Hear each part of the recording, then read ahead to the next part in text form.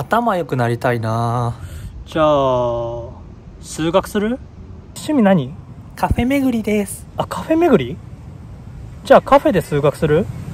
めっちゃ暇やわ。暇なの？じゃあ数学する？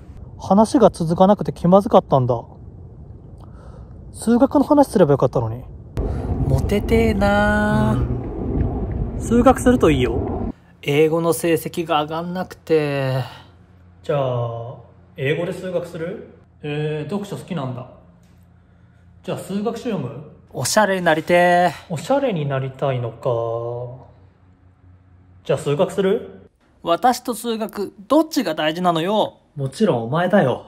じゃあお風呂にする？ご飯にする？それとも数学する？